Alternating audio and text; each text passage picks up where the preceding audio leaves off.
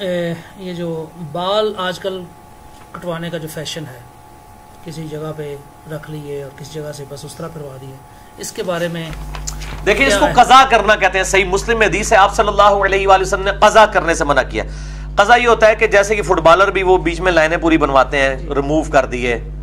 एक फौजी कट है वो कजा के जुमरे में नहीं आती क्योंकि वहाँ आप उस तरह नहीं फेरते ये ये साइड हल्की करते हैं ये इसमें कोई शरी गिरफ्त नहीं है। शरी गिरफ्त के लिए, फतवा लगाने के लिए हंड्रेड परसेंट वही सर्कमस्टांसिस होने चाहिए कि कोई बिल्कुल उस तरह फेरे साइड पे, या दरमियान में, और बाकी बाल रखे, वो कजा है। मसला नंबर 32 में मैंने कजा का मसला बताया हुआ है। बाकी बालों के ऊपर कोई कदगन अल्लाह के नबी ने नहीं लगाई है।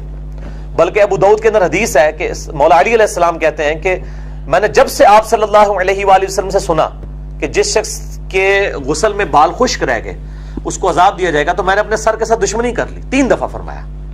और मैंने सर से बाल मुड़वा दिए अब सईद अली सर पे बाल नहीं रखते थे।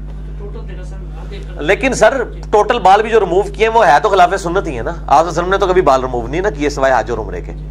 तो एक दर्जे में तो आप ने की एक वो सुन्नत से हट के है ना चीज़। तो इससे आपको टॉलरेंस पता चल गई कि बालों में, मैं इसलिए बता रहा हूँ कि इसी में कवर हो जाएगा। बाल लोग समझते हैं वो जुल्फे रखना कोई सुन्नत मौकेदा है, ये ज़रूरी है। मतलब अफजल है, कोई नहीं रखता। तो कजा वाला मसला ये होगा कि आप बाल रिमूव करें। अगर यहाँ कानों से बाल हल्के रखेंगे, ऊपर बाल रखेंगे, ऐसे ही रखने पड़ते हैं यार, कानों पे बाल तंग करते हैं। कानों पे उसके बाल सही होंगे जो लंबे बाल रखेगा, वो ऐसे करके पीछे कर लेगा। मैंने भी कुछ अर्सा रखे।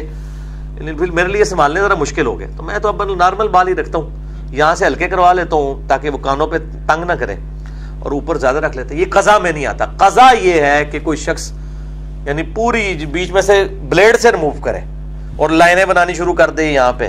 जैसे फुटबॉलर्स ने बनाई होती है, वो कसा है, वो कोई भी नहीं कराता। ये आजकल हमारे कुछ बात छोटे बच्चों के करवा देते हैं, वो भी हराम है, नहीं करवा सकते। अच्छा इसी में जिमरन बता दूँ कि जिनके बाल नहीं है, वो विग भी लगा सकते हैं। जिनके उम्र से पहले बाल सफ़ेद हो गए वो काले भी कर सकते हैं। मेरा इसके ऊपर एक क्लिप भी चढ़ा हुआ है, उसमें मैंने ये बात बताई है। कोई हर्ज नहीं इसके अंदर।